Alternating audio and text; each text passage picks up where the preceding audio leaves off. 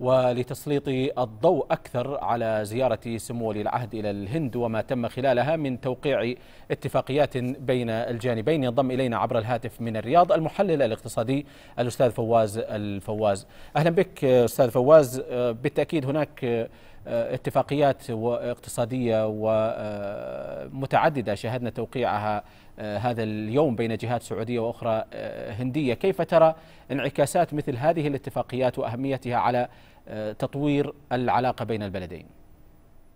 لا شك أنه زيارة شاملة ولكن جوهر الزيارة مثل ما تفضلت واضح أنه اقتصادي وكما سبق في الزيارة الأخرى لباكستان والزيارة القادمة للصين. فإذا بنحط الأمور في الإطار الصحيح إذا حبيت كل هالزيارات الحقيقة تجي من من من قبل سمو ولي العهد الأمير محمد. لتقويه العلاقات الاقتصادية وانعكاس على أهمية الرؤية والبرامج الاقتصادية الحثيثة في المملكة.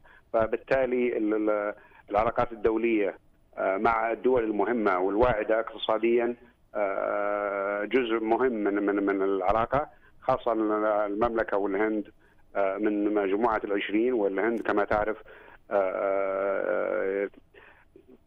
واحدة من الدول المستوردة للنفط المهمة.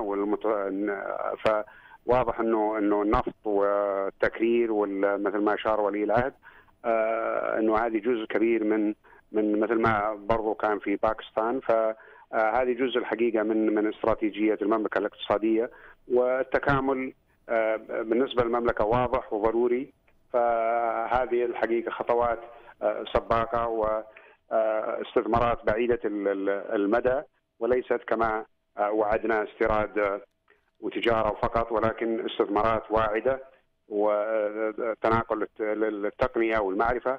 هذه دول سبقتنا وإحنا أعتقد الربط معها ضروري جدا فالمملكة اليوم تقوم بخطوة في نظري نعم. واسعة وشاملة وعميقة لتحديث نعم. المملكة اقتصاديا. طيب أستاذ فواز يعني اليوم كان هناك اجتماع لسمو ولي العهد مع مدراء ورؤساء كبريات الشركات الهندية في إطار رؤية SoftBank والاستثمار هناك.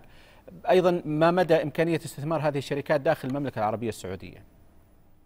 يعني أنت كما تعرف دائما البرامج الاقتصادية الشاملة اللي مثل الرؤية ومثل برامج الهند للتقدم فهذه كلها دائما تكون ما ما ما يسمح الحقيقة الجو الاقتصادي اليوم إنك تركز على القطاع الحكومي أو القطاع الخاص بل لابد من التضافر والتكامل فبالتالي سمو ولي العهد يعني أعطى من وقته في زياراته السابقة وزياراته زيارة الهند وزيارته القادمة للصين انه إنه تعمد إنه يقابل الشركات لأنه عنده شيء يقوله لهذه الشركات ويدعوهم للاستثمار في المملكة.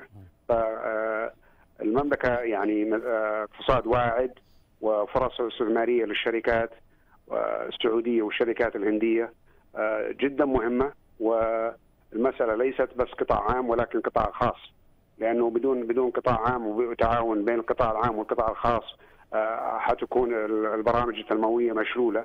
فسمو ولي العهد متنبه لها لهالناحية. ف